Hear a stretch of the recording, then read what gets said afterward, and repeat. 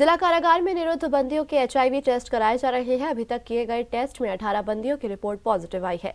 ऐसी बंदियों का जिला और एसएन अस्पताल में इलाज कराया जा रहा है।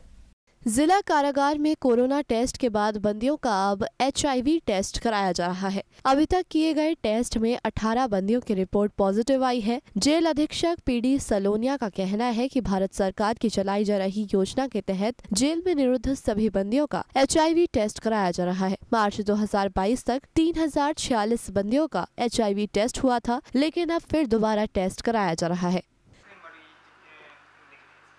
भारत सरकार योजना के तहत स्वास्थ्य मंत्रालय के कर्मचारियों के द्वारा जिला कारागार आगरा में मार्च 22 तक शत प्रतिशत तीन हज़ार छियालीस बंदियों का एचआईवी टेस्ट हुआ था। पुनः छः महीने बाद रिपीट किया जा रहा है। अब तक 2800 बंदियों का एचआईवी टेस्ट पुनः हो गया है। पाँच सौ बावन शेष रह गए हैं जिनका कार्य प्रगति पर है।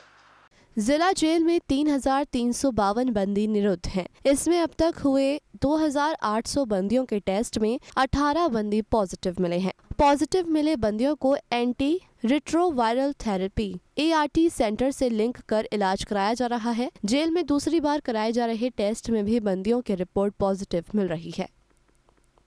प्रतिदिन नए बंदी जो आते हैं उनका प्रतिदिन ही किया जा रहा है।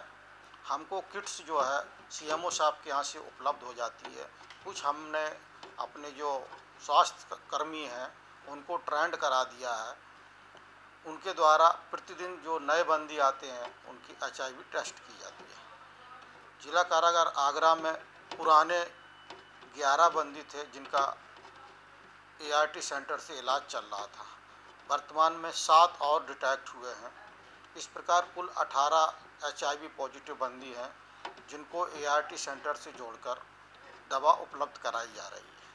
स्वास्थ्य विभाग की टीम के साथ जेल में भी स्वास्थ्य विभाग की तरफ़ से दी गई किट से बंदियों का एचआईवी टेस्ट किया जा रहा है। इस माह तक जेल में निरुद्ध सभी बंदियों की जाँच पूरी कर ली जाएगी। इस बारे में बंदियों को इस बीमारी से बचने के लिए जागरूक भी किया जा रहा है। इससे पहले जेल में कोरोना का टेस्ट सभी बंदियों का कराया गया था। अब एच जाँच की प्रक्रिया चल रही है।